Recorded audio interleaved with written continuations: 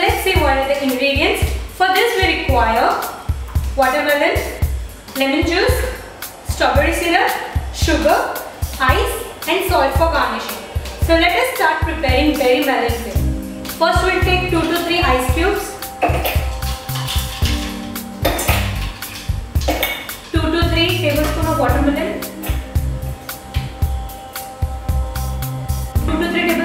Strawberry syrup.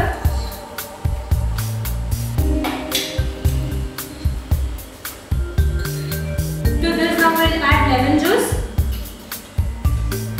2 tablespoon of lemon juice. Now we'll mix this.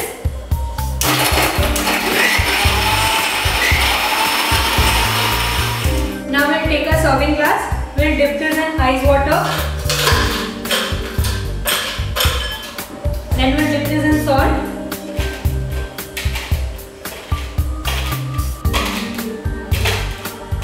Add little bit of strawberry syrup to the bottom. Now I'll add few watermelon pieces.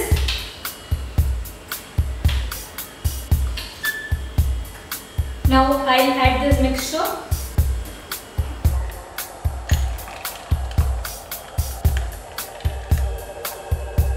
We'll add ice cubes. Now I'll garnish this with watermelon slice.